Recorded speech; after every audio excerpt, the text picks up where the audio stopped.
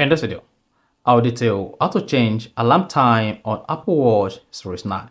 So if you have an Apple Watch Series 9, whether the 41mm or 45mm, GPS or GPS and cellular, then this video is going to show you how you can easily change your alarm time on Apple Watch Series 9. So if I don't know this video, you found this helpful and informative, please don't forget to like and subscribe. Now to change alarm time on Apple Watch Series 9, all you just need to do is press Digital Crown 1 to exit the watch face and go to the app menu. On the app menu, click on the alarm icon on your Apple Watch Series 9. Then you should see all your active alarms here. Then to change the alarm time, tap the active alarm.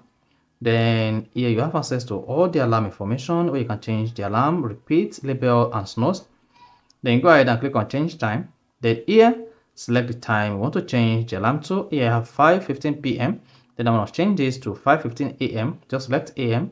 Or let me change it to 6 o'clock. You just need to use the two crown to swipe. Then select the minute. Then swipe to 00. zero. That is going to be 6 a.m. in the morning.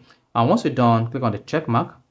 You see that? Then the alarm time is now changed to 6 a.m. in the morning. Then you can just hit the bar button.